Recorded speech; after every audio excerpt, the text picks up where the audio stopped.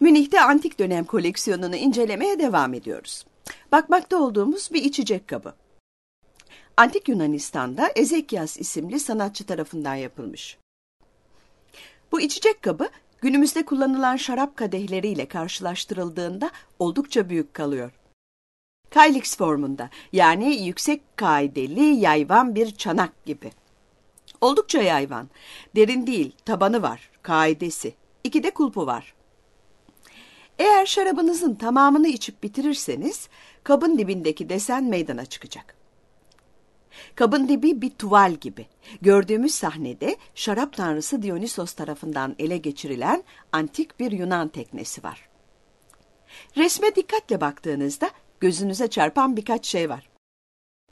Örneğin teknenin etrafında oynar gibi yüzen yunusları görüyoruz. Hangi alanın deniz, hangi alanınsa gökyüzü olduğunu anlayabiliyoruz. Bütün zemin kırmızı.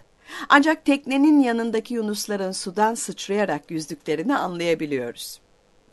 Neşeli bir tablo. Bu çanağı yapan dönemin ünlü bir sanatçısı. Ezekyas ve bu sanatçının eserlerinden 35 tanesi günümüze kadar ulaşabilmiş. Sanatçı hem seramikçi hem de ressam ve genelde yaptığı işlere imzasını atıyor. Bu çanakta da imzasını görebiliyoruz.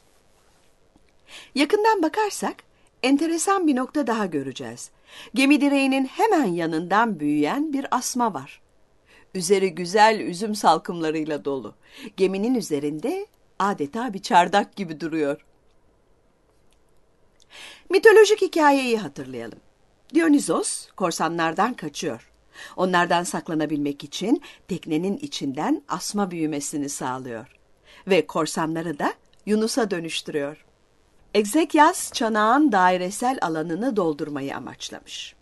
Asma dalları yatay şekilde büyüyor. Yunuslar da her tarafta sıçrıyor. Sanatçı tüm alanı kullanmış.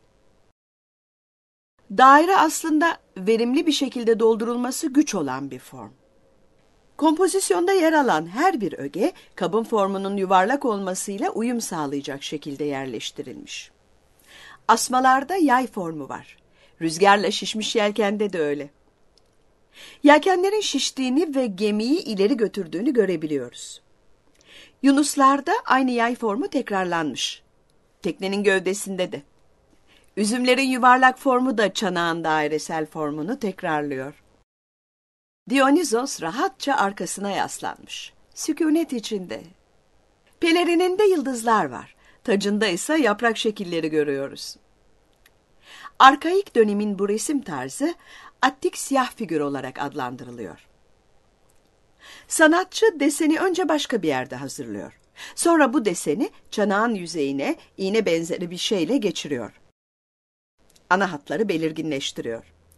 Daha sonra ise teknenin ahşabında gördüğümüz detayları veya Dionysos'un üzerindeki asma gibi detayları tamamlıyor. Tekneye dikkatlice bakarsak üzerindeki detayları görüyoruz. Geminin pruvasında bir yüz var. Geminin kıç tarafında ise kuğu başına benzeyen bir figür bulunuyor. Bu çanağı kullanırken baş parmağın yukarıdaki kulptan geçirildiğini düşünün.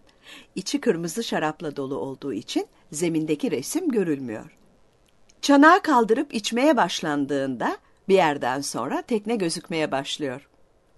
Kırmızı şarap denizinde yüzen bir tekne.